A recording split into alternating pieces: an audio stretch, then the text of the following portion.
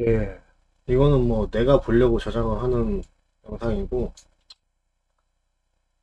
내가 윈도우 매번 재설치를 하거나 이거 선을 뽑으려면 자꾸 까먹더라고요. 이 플스 듀얼 쇼크 컨트롤러가 있는데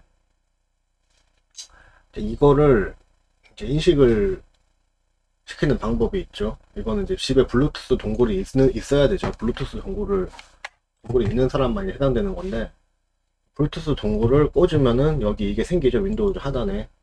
블루투스 장치가 나오는데 여기서 이거를 그냥 그냥 키게 되면은 자기 멋대로 그냥 자기 멋대로 Wireless Controller로 등록을 하는데 그렇게 하면은 정상적으로 동작을 안 해요 얘가.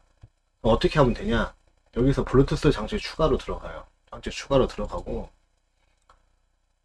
블루투스 또는 기타 장치 추가를 먼저 눌러줍니다. 블루투스로 들어갑니다 그 다음에 이걸 눌러줘요 여기서 이- 여기 풀스 키하고 여기 여기 쉐어 키를 같이 눌러줍니다. 이키두 개를 같이 누르면 돼요. 가운데 이거랑 그리고 두 개를 동시에 누르면은 얘가 깜빡깜빡하죠. 깜빡깜빡하면서 여기 Wireless Controller가 생깁니다. 제가 캠을 치워드릴게요. 야 여기 이런 식으로 여기 Wireless Controller가 생기 생기 생겨요. 이 상태로 눌러주면 돼요. 깜빡깜빡 할 때. 네, 그러면 정상적으로 등록이 된 거예요. 중요한 거는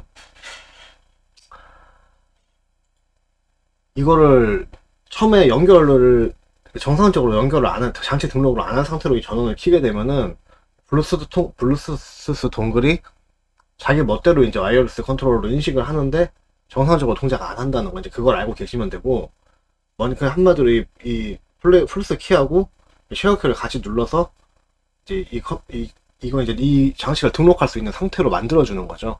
그래서 이 여기 파란 불이 깜빡깜빡 깜빡깜빡 이제 해, 하는 상태에서 이제 등록을 해야지 정상적으로 동작이 되는데 그러기 위해서는 먼저 여기서 이 블루투스 장치에서 블루투스 장치 추가를 누르시고 블루투스 여기까지 여기까지 진행을 해주신 다음에 여기서 device 추가 이 창에 떴을 때 요 요걸 눌러서 이제 등록을 진행을 해주시면 된다.